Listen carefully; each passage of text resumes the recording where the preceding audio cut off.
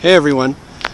Um, I don't think that I have taken a video since I got rid of the Porsche and moved from Oregon to California.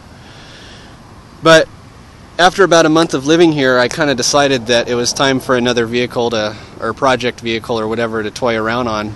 And I did some thinking and did some research. I decided that a motorcycle was the way to go. And um, I work about three miles from where I live, and uh, I don't really get on any freeways or anything like that. So I decided that a 250 was the way to go. And um, I ended up getting this brand new Honda CBR 250R. It's a little 250cc single cylinder motorcycle. It's just a little guy, but it's really cool. Um, 250s often have this reputation for being um, underpowered, uh, too small. You can't take them on the freeways. They're light, so they get blown around by the wind or whatever.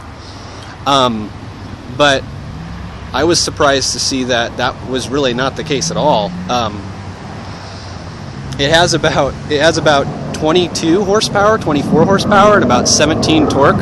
So the engine is tiny. Um, as you can see right here, it's this little baby engine, and when it's running, it sounds it sounds an awful lot like a riding lawnmower, which is really funny. Um, but it's peppy enough that I certainly don't have any problem problems with it. And um, yeah, it's a it's a really fun little bike. So I went from being um, Brian the Porsche 924 Turbo project guy to the uh, Brian the motorcycle guy. So I'm to go ahead and turn it on now. Let's do another walk around. This was kind of the first thing I did was get this enormous um, uh, fuel tank protector. I look at other guys' bikes and I see that theirs are like this little tiny thing right here, and I have this big monster. But oh well, it works. It's kind of cool. So let's go ahead and turn it on. So we're ready to rock and roll. Let's get it to neutral. Here's the neutral light. So check this thing out. And there's my little lawnmower going. But it's such a cool little bike. It's got this wretched exhaust that I definitely plan on getting rid of. It's, look at that, it's terrible.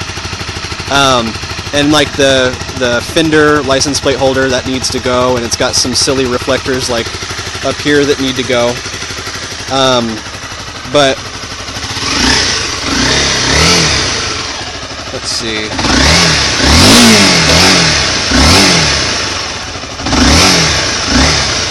Doesn't sound too bad. Um, for a single cylinder, it's surprisingly smooth. You would think that just a single piston pumping up and down it'd be really rough, but it it's smooth. You don't even you don't even notice it.